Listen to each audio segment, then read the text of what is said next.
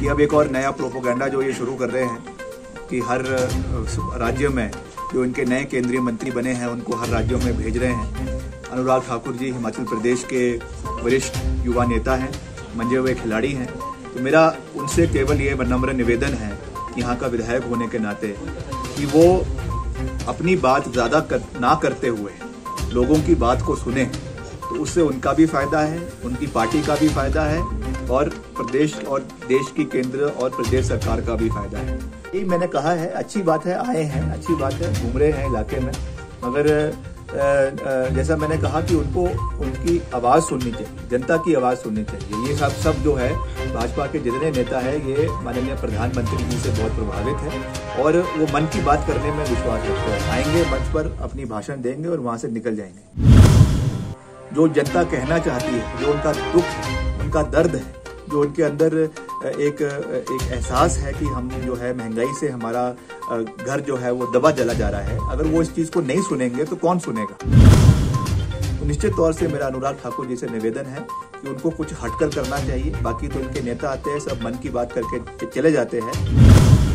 अनुराग जी पढ़े लिखे हैं, युवा नेता है प्रदेश के। हो सकता है कि भावी मुख्यमंत्री भी हो, भाजपा की ओर से तो निश्चित तौर से उनको हिमाचल की आवाज़ को सुनना चाहिए और मन की बात ना करके, जनता की मन की बात को सुनकर उसे प्रधानमंत्री के कान तक पहुँचाने का कार्य अनुराग जी को करना चाहिए। मुझे लगता है कांग्रेस को अपने गिरेबान में झांकना चाहिए। उनके 10 साल का कार्यकाल देखना चाहिए। कांग्रेस के 10 साल के कार्यकाल में महँगाई दर औसतन 11-12 प्रतिशत डबल डिजिट में रहती थी। मोदी सरकार के समय औसतन महँगा इधर साढ़े चार, बहुत अधिक होगी, पाँच परसेंट तक रहती है। ये अंतर है।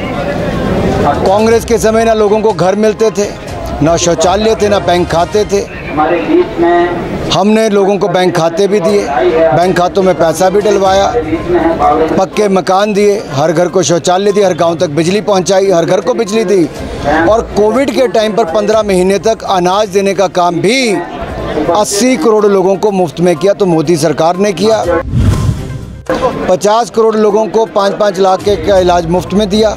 कोविड का वैक्सीनेशन पैंतीस हज़ार करोड़ का प्रावधान करके देश भर के लोगों को मुफ़्त में दिया और 55 करोड़ वैक्सीन अब तक हम दे चुके हैं। इसके अलावा, कांग्रेस के समय तो पोलियो का टीका हो या कोई और भी हो, उसका इंतज़ार 40-40 साल करना पड़ता था।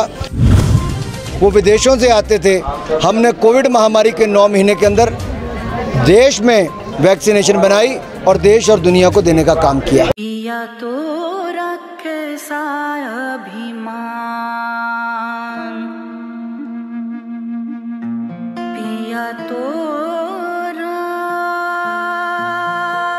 बीती यादों से नाता सहेजना सीखा।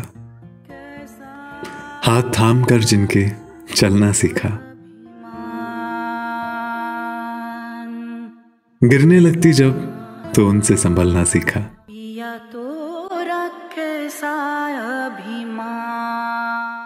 उनकी डांट से खुद को तराशना सीखा।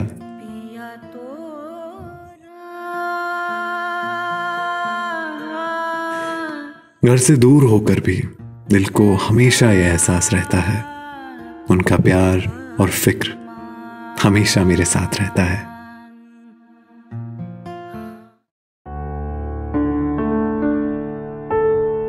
भूषण ज्वेलर्स अनमोल रिश्तों के लिए।